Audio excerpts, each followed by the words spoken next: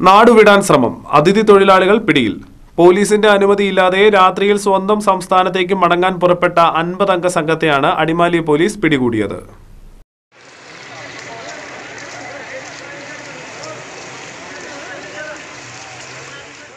തിങ്കളാഴ്ച പുലർച്ചെ അഞ്ചു മണിയോടെയാണ് അൻപതംഗ സംഘം അടിമാലിയിൽ നിന്നും ദേശീയപാതയിലൂടെ കാൽനടയായി യാത്ര ആരംഭിച്ചത്. സംഘത്തിൽ സ്ത്രീകളും കുട്ടികളും ഉണ്ടായിരുന്നു.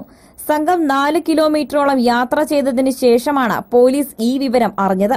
ഉടനെ അടിമാലി സിഐ അനിൽ ജോർജിന്റെ നേതൃത്വത്തിൽ പോലീസ് എത്തി സംഘത്തെ അടിമാലിയിലെ താമസ സ്ഥലത്തേക്ക് തിരികെ എത്തിച്ചു. ഈ സംഘം ലോക്ഡൌണിന്റെ ആദ്യഘട്ടം മുതൽ പഞ്ചായത്തിന്റെ നിയന്ത്രണത്തിൽ അടിമാലി സർക്കാർ സ്കൂളിലാണ് താമസിച്ചിരുന്നത്. ഭക്ഷണം പഞ്ചായത്തിന്റെ ജനകീയ അടുക്കള വഴിയായിരുന്നു നൽകിയിരുന്നത്. അടുത്തിടെ പഞ്ചായത്ത് ഭക്ഷണ വിതരണം നിർത്തി.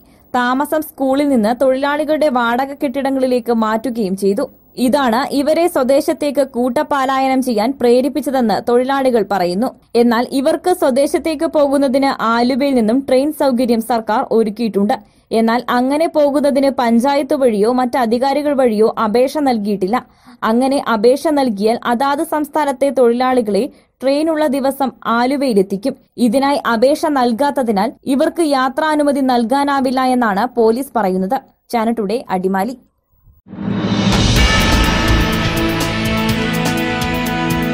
കൂടുതൽ വാർത്തകൾക്കും വിശേഷങ്ങൾക്കും ചാനൽ ഡോട്ട് ഞങ്ങളുടെ വെബ്സൈറ്റ് സന്ദർശിക്കുക.